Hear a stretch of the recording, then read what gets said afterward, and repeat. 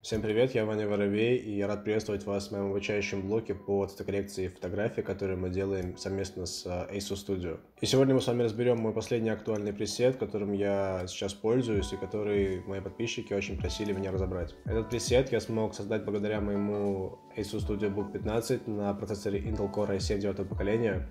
Все дело в том, что я хотел обновить свой предыдущий актуальный пресет, сделать его еще более темным э, и оттенки черного и белого довести до идеала. И все это мне удалось благодаря экрану в этом ноутбуке, который сертифицирован по программе Pantone, и благодаря этому Экран настолько шикарный, что у него идеальная цветопередача. Эта обработка, как и предыдущие мои пресеты, довольно универсальная, подходит под э, совершенно любые сценарии, как портреты, пейзажи, селфи, что угодно. Итак, давайте не будем терять время, приступим к детальному э, разбору этой обработки, чтобы вы могли повторить ее за мной и применить к любым своим фотографиям. Открываем Lightroom, выбираем фотографию, приступаем к обработке. Итак, первым делом мы выставляем значение э, температуры Здесь у меня 6300 кельвинов и оттенок на плюс 9.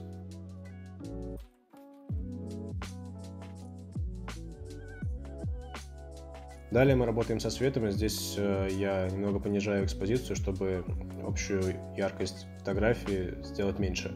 На минус 0,31. Э, Контраст повышаю на плюс 30.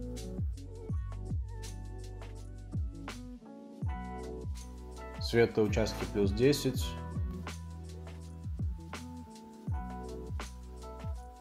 Тени на плюс 50. Э,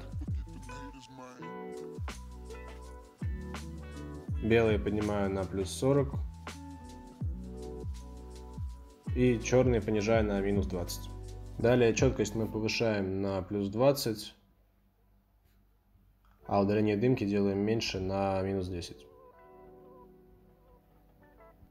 После этого в параметрах насыщенность и красочность мы уменьшаем их на минус 20.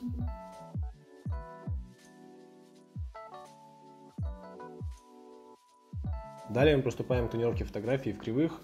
И для того, чтобы сделать такую же тонировку, как у меня, э, вам нужно просто повторить э, две кривые за мной в первом канале белом и синим.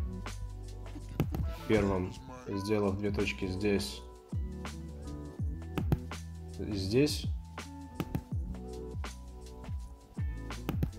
И в синем вот здесь. Далее мы добавляем на фотографии виньетку в эффектах. Выставляя параметр виньетки на минус 20, центр на 40, и растушевку на 60. На всех своих фотографиях я добавляю э, зернистость на 20, размер 25 и плавность на 50. После чего мы приступаем к работе с цветами. Первым делом идем в красный. Уводим оттенок немного в желтый на плюс 10 яркость делаем выше на плюс 20 и яркость тоже на плюс 20. Далее идем в оранжевый. Это очень важный параметр при обработке именно в моем пресете, потому что он отвечает за цвет кожи. И здесь очень важно подобрать правильный э, естественный оттенок. Иногда можно сделать его даже более загорелым, но обязательно делать его максимально естественным.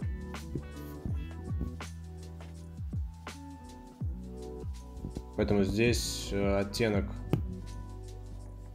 конкретно на моей фотографии я делаю на минус 10, чуть более в красный, насыщенность на плюс 60 и яркость на минус 5. Желтый я убираю в красный на минус 100 оттенок, насыщенность полностью убираю на минус 100 как и яркость, э, тоже на минус 100. Это позволяет некоторые участки фотографии сделать именно черными. То же самое с э, голубым, синим, фиолетовым и розовым цветом.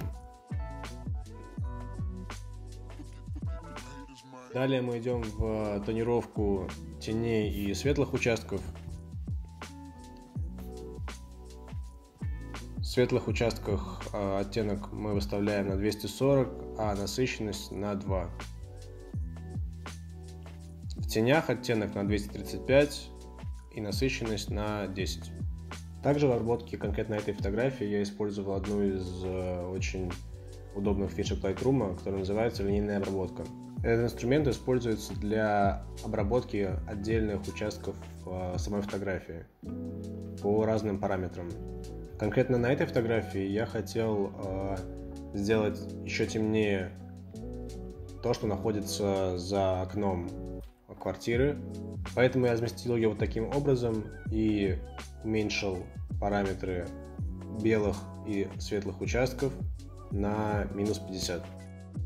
Итак, сегодня я поделился с вами всеми секретами моей последней актуальной цветокоррекции, которые мне удалось добиться благодаря этому экрану с идеальной цветокоррекцией, поэтому вы можете повторить все за мной и применять ее для своих фотографий. Всем спасибо за просмотр, обучайтесь творчеству вместе с ASUS Studio.